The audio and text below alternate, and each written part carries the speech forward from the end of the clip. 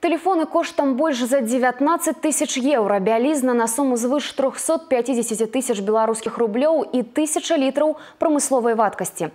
Супрацоўнікамі гродзенскай рэгіянальнай мытні прыпынены некалькі спроб перамяшчэння праз дзяржаўную мяжу дарагіх незадэклараваных тавараў. Адразу два эпізоды зарэгістраваны ў пункце пропуску беняконі, што на літоўскім напрамку. Спачатку казахскі перавозчык прад'явіў да афармлення дакументы з таварам рабочае адзенне. Па факце ж у транспартным сродку знаходзілася звыш 4 тысяч камплектаў тэрмабіялізмы, якія не былі задэкрылаваны. У гэтым жа пункце жыхар мінска паспрабаваў пазбегнуць мытных плацяжоў пры ўвозе дарагіх айфонаў. Для таможенного оформления он выбрал зеленый коридор, заявив при этом, что не перемещает товары, подлежащие обязательному декларированию.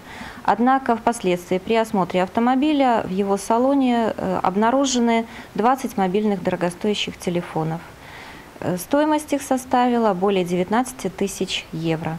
Учитывая характер данного товара, а также частоту пересечения данным гражданином границы, товар не был отнесен к товару для личного пользования, а значит подлежал обязательному декларированию с последующей уплатой таможенных платежей.